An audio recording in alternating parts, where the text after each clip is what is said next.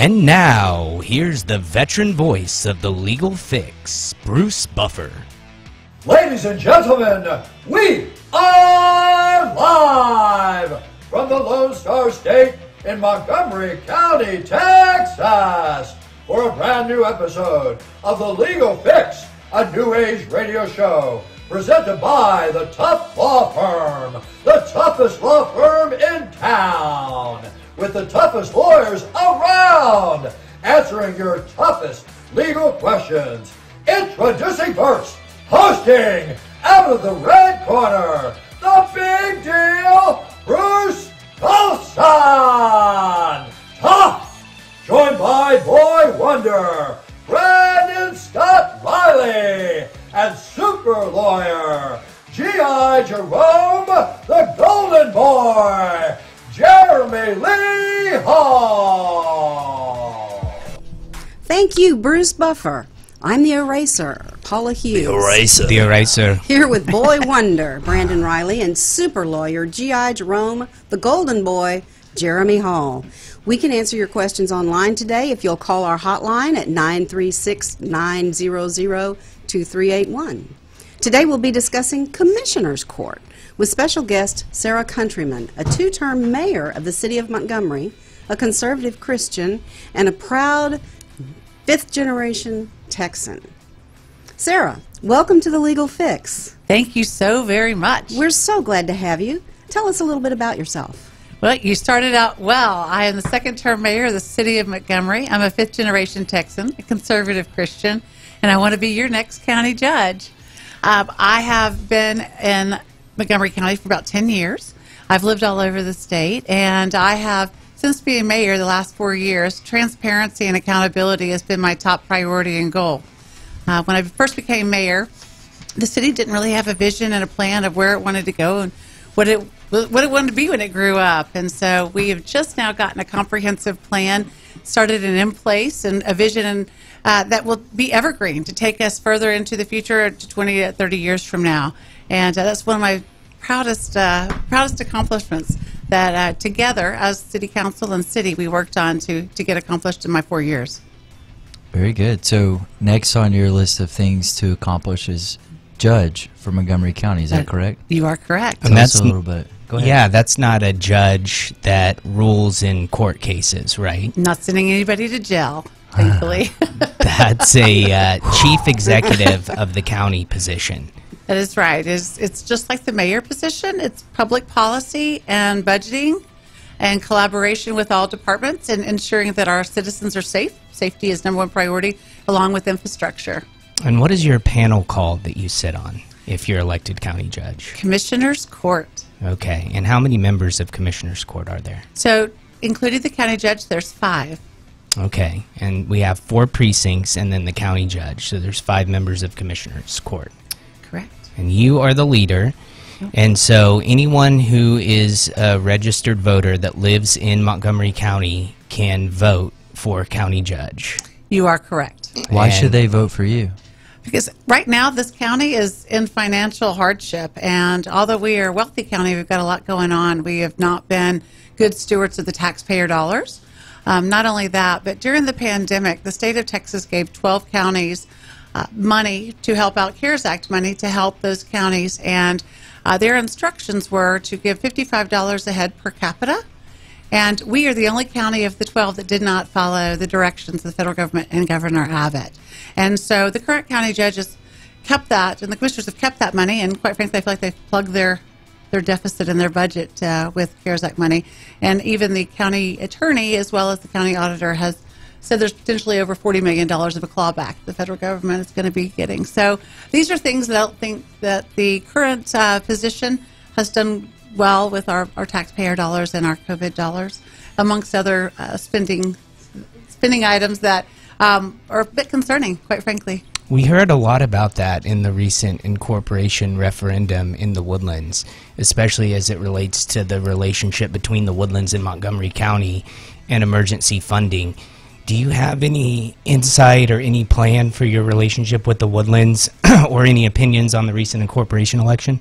So the incorporation election, because I'm the mayor of Montgomery, uh, I only was in, uh, worried about Montgomery, quite frankly. I, the Woodlands, y'all need to do what you want to do. If you want to incorporate wonderful, if you don't, wonderful. I don't believe that I would have any bearing or need to give an opinion about that. However, um, I do have a relationship with those on the township and have met with them actually talking and discussing about the lack of uh, disbursement of the CARES Act money and how much that impacted them. And um, quite frankly, I have not yet met one community leader in the Woodlands or in the county, i.e., mayors and council people, um, that are happy with how we were not given the rightful uh, financial support that, that was intended.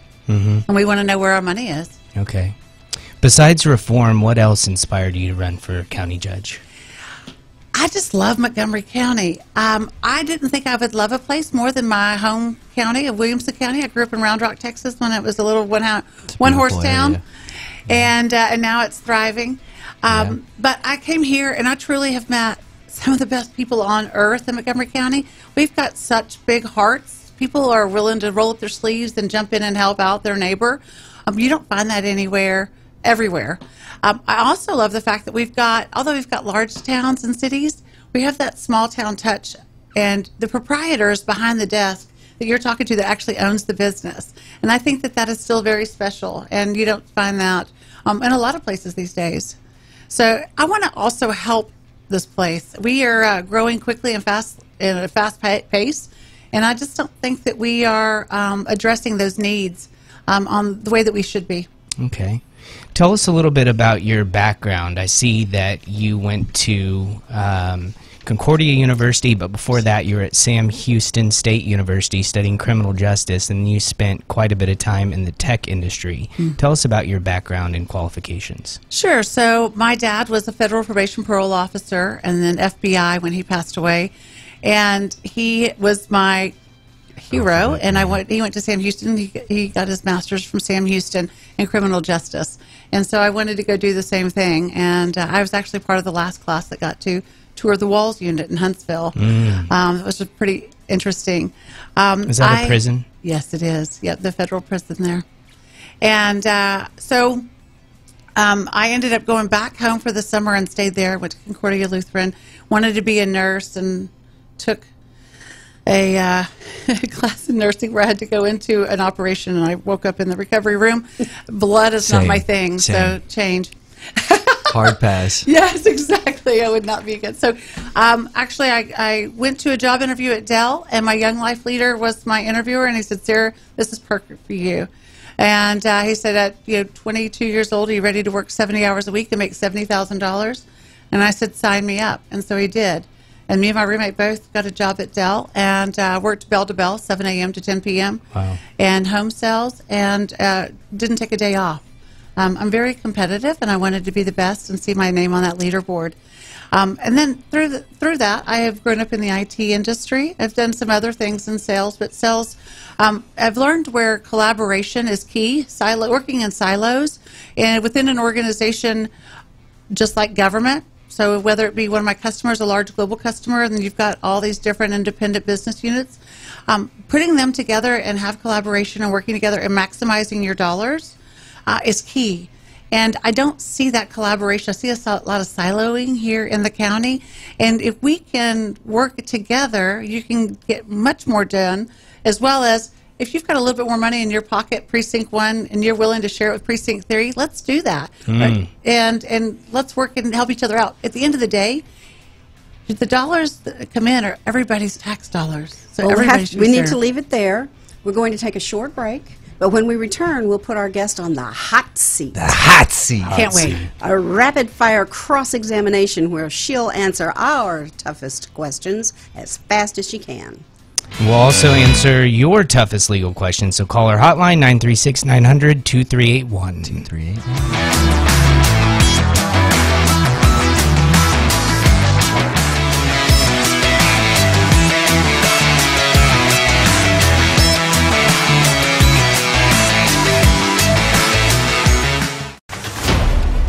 I'm Bruce Tough, principal of the Tough Law Firm. We are a full service law firm serving the greater Woodlands area and the greater Houston area. Contact us at 281 681 0808. We're tough for you. Go to youtube.com on your smartphone, tablet, or PC. Subscribe us on YouTube at Radio The Boss 91.1 FM. We all want to protect what we love. And we know that child safety seats and seatbelts save lives. Yet three out of four kids aren't buckled in correctly. And in 2016, 42% of Texas teens who died in crashes weren't wearing a seatbelt. Don't be a statistic. If you love it, click it. That includes you, too. Buckle up. Every rider, every ride. One final time, here's the veteran voice of the legal fix, Bruce Buffer. Ladies and gentlemen, this is the main event of the evening. Attorneys are licensed by the State Bar of Texas. Our three lawyers cross-examining the witness are Bruce Tough, Brandon Riley, and Jeremy Hall. And when the action begins, the witness on the hot seat will answer as many questions with the fewest words as fast as they can. The hot seat is sponsored by The Legal Fix, a new age radio show brought to you by the Tough Law Firm. We're tough for you. And now, for those listening on the radio and Legal Fix fans watching around the world, this is the moment you've all been waiting for. Live from the Legal Fix studios in the Woodlands, Texas. It's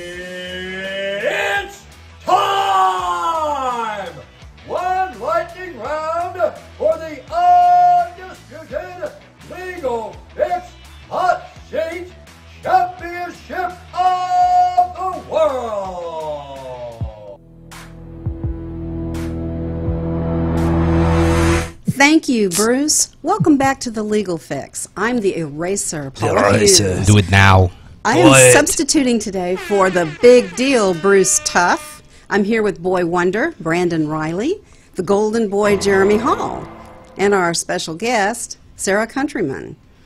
Call our hotline at 936 900 2381. Now, we're going to put Sarah Countryman on the hot seat. Hot seat. Before we swear in, I just want to compliment your glasses. All your butterfly shades. Those are really nice. Thank you. I appreciate that. Very countryman of you. Very countryman. Yes. Okay. Have you seen the hot seat before? I Sarah? have. Okay, so you're prepared. You know what's coming. I've studied. You're going to serve as the witness in a rapid fire cross examination where you'll answer our toughest questions as fast as you can. You get one free pass, thanks to our champion, Paula Hughes, the eraser. The who- eraser. Who abused the pass rule. One free pass. She's also the record holder. One question answered every 2.5 seconds. So that's your After benchmark. accounting for penalties. Yes, Yeah. after accounting for penalties. the average is one every five seconds. Have Wow. fun, answer as many questions as you can. State your full name for the record. Sarah Christine Marshall Countryman. Do you swear to tell the truth, the whole truth, and your version of the truth, to answer the most questions with the least words as fast as you can? I do. She's ready. She's ready. How do you spell countrywoman? C O U N T R Y W O M A N. Nice. Are you behind the Cooper Mini Countryman? I am. Did hot your red. your father-in-law invented the mini? He did. Nice. Do you drive a Mini? No, Are you the debutante heiress to the Country Crock fortune? I am. Are you the Paris Hilton of butter? It- It's fake butter. Looking like it. Your life is well documented in the 1982 movie Countrymen, starring Freshie Richardson, right? Yeah, that's where the American couple crashed that plane in Jamaica, and then they kind of swept it under the rug to, To win win the the election. election. Yeah, right? it sounds yeah, familiar. yeah. That's a biopic about your life, right? It is. It's, it was in my uh, eight ball fortune. Yeah, Countrymen. Countryman. Are your political ambitions inspired by John F. Kennedy's final words? Ask not what you can do for your countrymen, but what your countrymen can do for you. A hundred percent. And you just told us you're running to represent every country, man, woman, and child in our community. Exactly. Specifically, Montgomery County men, women, and children, right? Yes, within our borders. Okay. The fellas on the legal fix will be your fellow countrymen. Yeah, I'm more of a city man. Yeah, city, you're a city slicker for sure. city slicker. Should we put a wall up? You said at our border. Should we put a wall up around Montgomery County? Uh, no. Okay. Uh, We like our visitors. yeah, you matriculated at Sam's Club State University in Houston, right? That's right. Are you still a member? No, And what's y'all's mascot now? Bearcat. Bearcat. On mascot applications, do they tend to identify as bears or cats? Do they roar or meow? D, all the above. How does it sound? nice. And, and before y'all were Bearcats, you were the Normals, right? Sam Houston um, State yes, Normals, yeah. y'all were. And that's a strange mascot choice, right? Truth. Highly unusual. Yeah, the abnormals, right? Yeah. So on the legal fix, we're on a crusade to rid this and any other worlds of animal violence. So time's up for Sam's Houston's clubs. What's y'all's rally cry? Pass. Crickets. It says here the Bearcat is a ferocious South American predator and it sits erect on its haunches. Yeah, and y'all tried to keep mm. one as a pet, but the animal No, was right. quickly dismissed. Apparently, it wouldn't stop acting like a wild animal. Yeah, relieved of Imagine duty. It needs to hit the showers. You're fired. Don't let the door hit you on your way out, you wild, filthy animal. Filthy. Time's animal. up for the Bearcats. You aren't pets. You aren't mascots. You were born free. Born Well, free. But but in Texas we can hunt them, right? So Yeah. he probably needs to watch his back. Yeah. yes. Are you a sorority girl? I am not. Were you a good kid? Always. How old were you when you got your ears pierced? 16. You weren't born a countryman, you just married one, Bob Countryman. Bob's the real countryman. I was born a Marshall. But you married Bob Sheriff Countryman. Marshall. I married Bob Countryman. Okay. On your resume it says um, Actually, I married Brad Countryman. Brad. Oh, it says Bob. yeah, it says I Bob. was like, right? Bob. It says Bob on your profile. Bob. Yeah. Oh, must be no. must be a it's- misspelling. oh, we're just no, it's Brad. we're just mispronouncing it. Yeah, How's it pronounced, Paula? Brad? I, I may go home and he's going to say, Who's Bob? Is it countryman or countrymen? It's Countryman. Countryman. Countryman. Countryman. Mm. Countryman. Next. H- how big is his side of the family? It's very large. Is there anything you wouldn't do for your fellow countrymen? I can't think of anything. You bore him Sloan, a strapping young countryman, to carry on the family name. That is correct. But she's she is uh she's more like me though. But, So- she, but they like to gang up on me. So is countryman er, is Sloan a countryman or a countrywoman? She's a woman. okay. In the spirit of gender neutrality, will you change your name to country person? No. Your community, your city, also gave birth to the Texas flag, right? Yes, ma'am. We're very proud of that. You trademarked birthplace of the Texas yes, flag. Yes, I did. Hmm. Are you the Betsy Ross then of Texas? Of course. Did you sew the original Texas flag in your cabin, pedaling your singer by candlelight? A fellow countryman did. Okay. What's your weight? Under a 500. What's your God-given hair color? You're looking at it. Are you currently wearing a permanent? Negatory. Why is your hair like that? What do you do to make it look like that? Flattener. Straightener. Isn't it and true? Rave 4 Mega Hairspray. Isn't it true you wear glasses just for style? No. What's your eyesight? Terrible. Do you have any other handicaps? Yes. What This- are they? I have a bunk right big toe. Uh-oh, bunk. this Halloween, will you go as Baby Shark?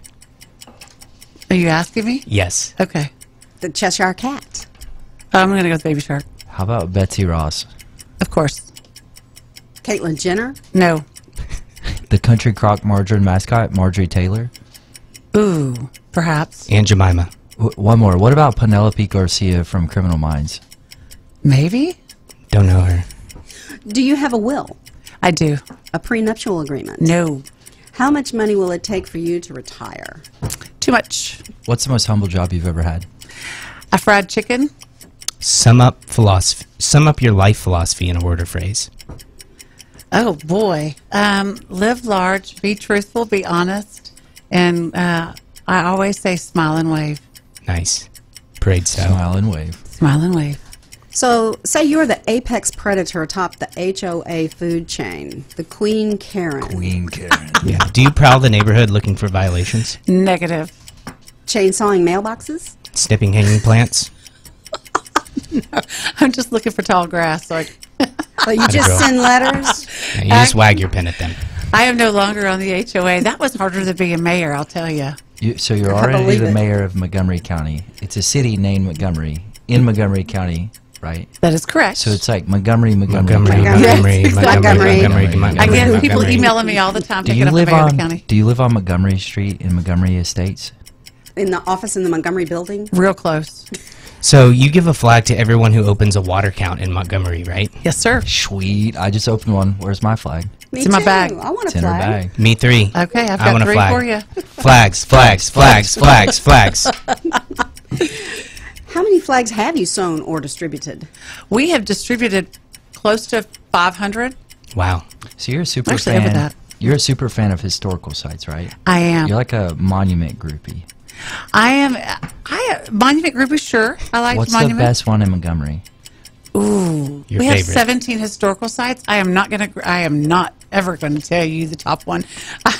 Okay. Just for fear of uh, no way, because we've got a very uh, strong historical society. What's and, the uh, worst? like one you'd never go to again? I love all of them. Okay. I Next. We'd never pick favorites. It's like picking kid favorites. No yeah. way. Whi- which country woman in the primary spends the most time at the salon? Um, me. Okay. How about the least? Um, probably John Hafley. He's bald. John Hafley. Assuming you're the top country woman, who's the next best broad on the ballot? Second That's best. General Hafley. Oh, you know what? I have made so many good friends. Um, I think all these ladies are exceptional. Can I take them all as one? Yeah. You can. Okay. We'll accept it. The next best skirt. Ooh.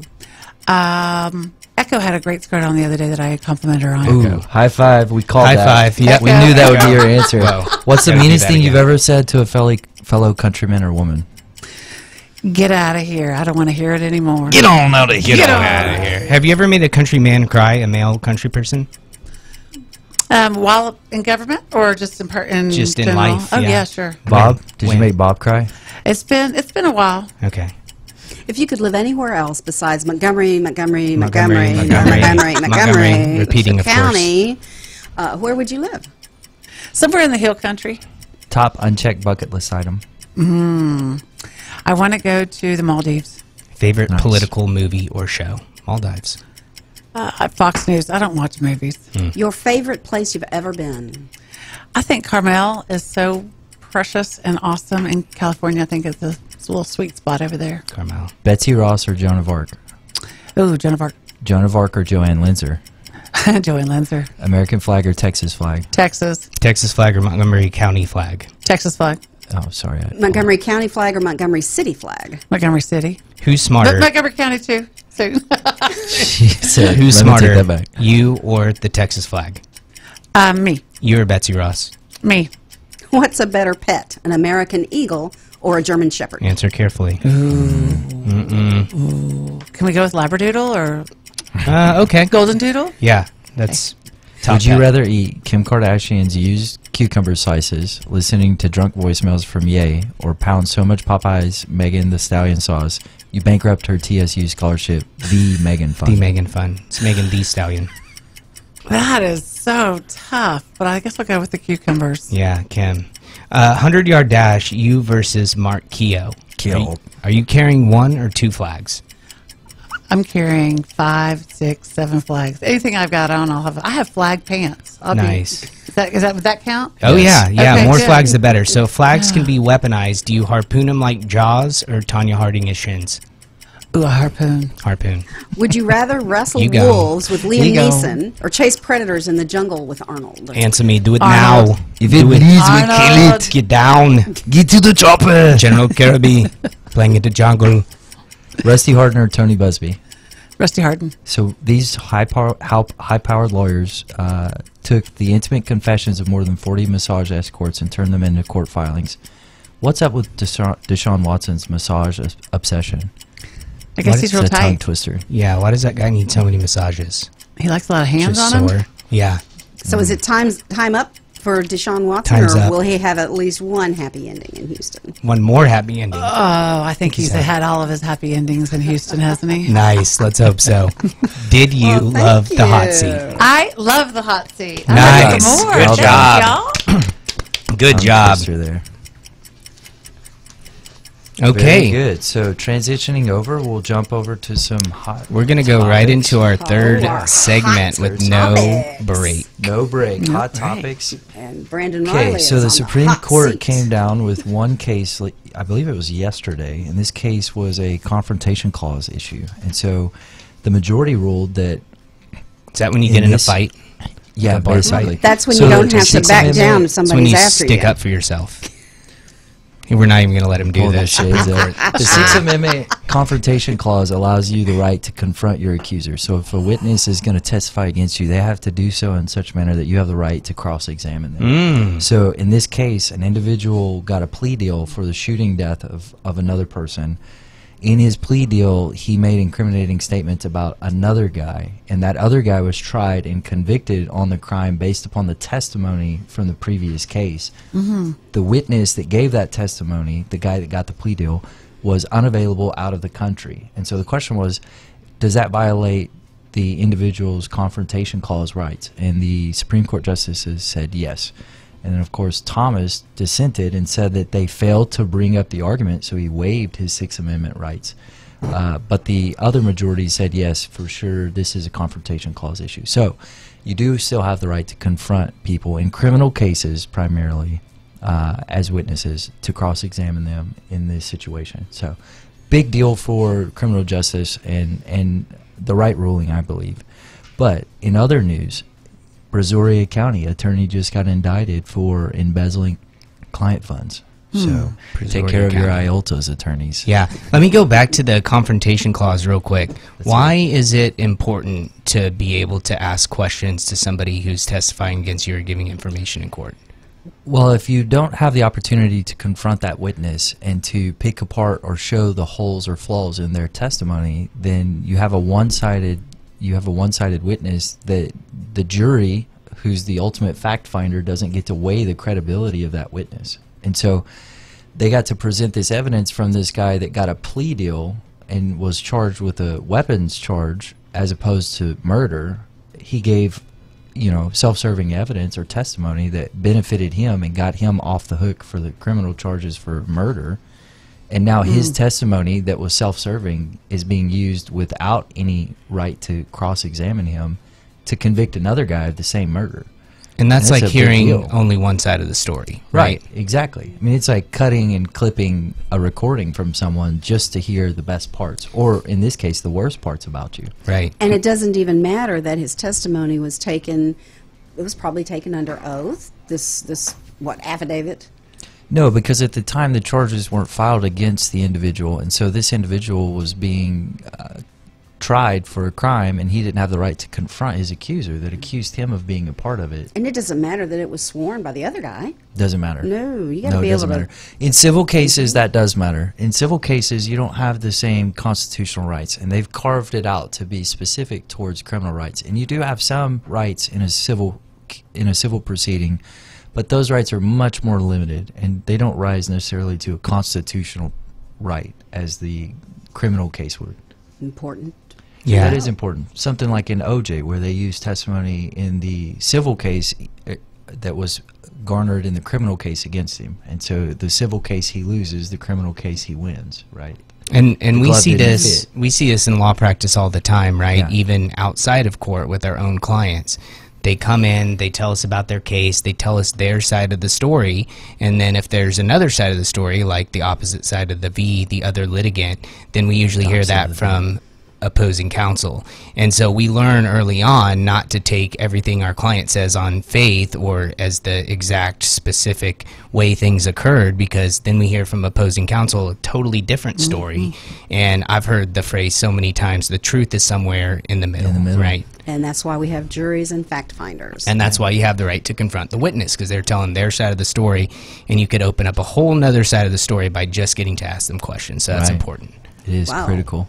Now, flipping back over, Miss Countryman, how do we find you and your what and your How do people get in yeah, touch with you? your campaign? So um, I've got a website, Countryman4, the number 4, countyjudge.com. And it is countryman with all of our countrywoman, Oh, country yes, person. it's it's countryman. countryman, Country countryman. Yes. a woman named countryman. That's right. Okay, and That so what's your like a- website? So good it's book. Countryman for countyjudge.com Okay. or Sarah Countryman for Montgomery County Judge on Facebook. Okay, Very good. Very good. When's your next campaign event? So I have a meet and greet coming up next week in East County, and then I also have a meet and greet at Joe's Italian on the 31st. Are there any other debates between you and uh, Judge Keough? Yes, sir. So we are about the halfway mark. We just had our sixth or seventh last night, and we'll have another six or seven in the future. Mm-hmm. Wow. Early voting You guys starts Valentine's flags with Day. you? The harpoon flag. I am. I'm going to. I think I'm going to wear my flag pants too, just to see how that works. Nice birthplace. But yeah, so V for voting, V for Valentine's. Yeah, Some people February are saying V for voting Valentine's and Vino, okay. but that's how you remember it starts name. then. Yeah. Very good. Two weeks of early voting, 14th through the 25th of mm-hmm. February, and then election day is March 1st. Tuesday, March March 1st. That's right. Thank you for tuning into The Legal Fix, brought to you by the Tough Law Firm. Call our office at 281 681 0808. Visit toughlawfirm.net or ask a question in the comments below. You can watch past episodes and highlights at toughlawfirm.net slash the legal fix. Legalfix.show coming soon. For the latest, please subscribe to our YouTube channel and connect with us on Facebook, Instagram, and Twitter. Tune in to 91.1 FM The Boss Fridays at noon. I'm the eraser Paula Hughes, substituting today for the big deal Bruce Tough with The Boy eraser. I miss you, Wonder, Bruce. Hope your dad's okay. Brandon Riley, and super lawyer G.I. Jerome Golden Boy Jeremy Hall. We'll see you next week for another episode of The Legal Fix.